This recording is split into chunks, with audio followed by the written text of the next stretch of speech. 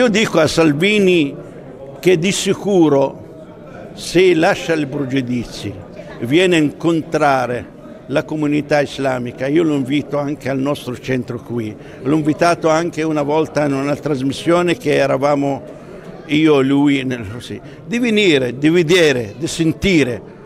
Io sono sicuro si sente da vicino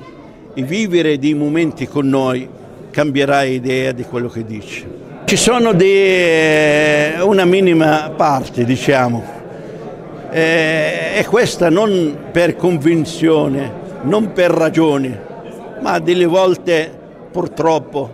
per motivi politici o elettorali che pensano che non hanno magari altri discorsi da fare o a presentare o offrire alla popolazione e quindi vanno a parlare dell'Islam, della comunità islamica, invasione dell'Islam, così, ma tutte cose che la maggior parte degli italiani le sanno che l'Islam dà valori, non, eh, non invasa nessuno, vuole vivere e vuole essere come qualsiasi altro cittadino, di essere libero, di credere quello che crede e di praticare quello che, come sancisce anche la Costituzione italiana.